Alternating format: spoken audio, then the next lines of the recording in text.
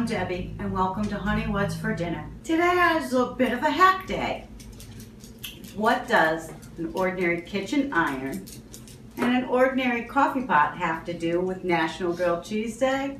I'm about to show you how you can make Campbell's tomato soup and make a grilled cheese sandwich using your coffee pot and your iron. We're simply going to take an ordinary can of Campbell's tomato soup, which a college kid would have, or in my case, my husband travels for work and he's often in a hotel room, and he's had to use this hack a couple of times. You simply take a can of Campbell's soup. You pour it in your coffee pot.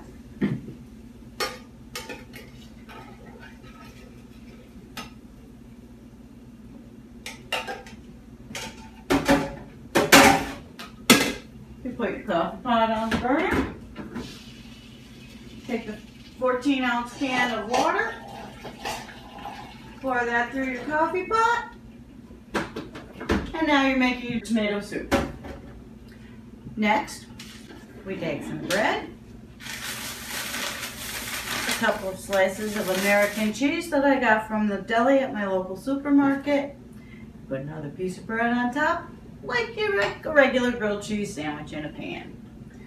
You take a little butter,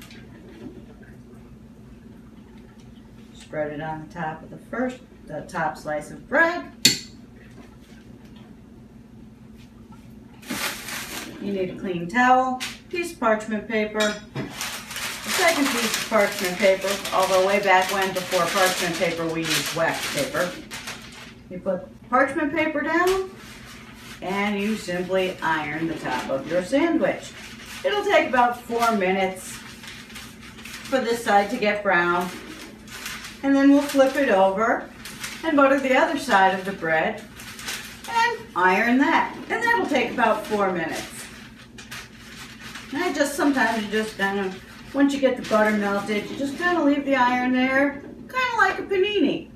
And today, you could use some sliced tomatoes, stick some bacon in there, a can of tuna. Now the water's passed through our coffee maker. We give this a stir. Not too hard though, you don't want to break your coffee pot. Just a nice little gentle stir.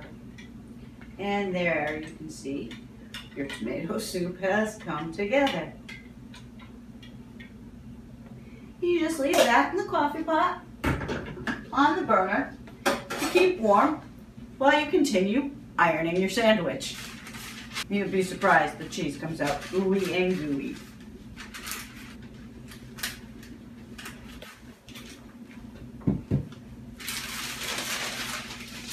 You see the cheese is starting to melt already. You flip it over. Another little bit of butter. Smear it all over the top of this. Parchment paper back on.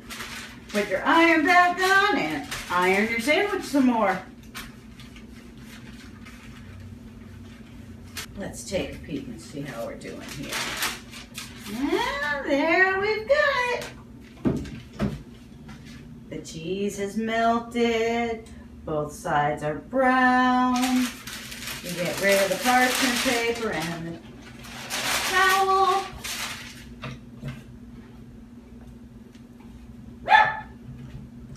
My dog, Marika. She's outside. She wants to come back in, but she'll have to wait just a few minutes.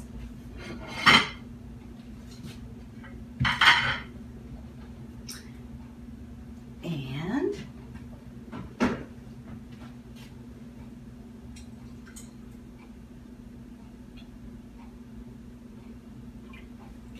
there you have it.